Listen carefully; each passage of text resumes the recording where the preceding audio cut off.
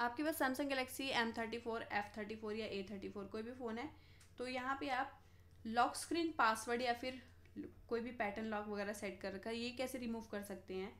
तो इसके लिए पहले मैं इसको ओपन कर लेती हूँ।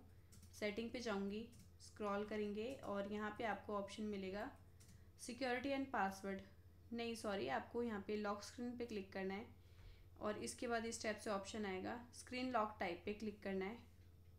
अपने फ़ोन का लॉक एंटर करेंगे, जो भी पहले था। ये ऐसे आ जाएगा। इसके बाद मैं ना इसको स्वाइप वाला कर दूँगी।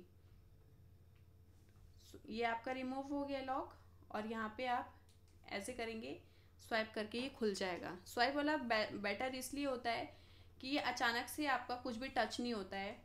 जैसे कि अगर ये खुला हुआ है, स्क्रीन डायरेक्ट खुल जाती है ना तो कहीं पे भी टच हो जाता है ना तो वो दिक्कत नहीं आएगी। चलिए मिलते हैं आपको एक नेक्स्ट वीडियो में, तब तक के लिए नमस्कार।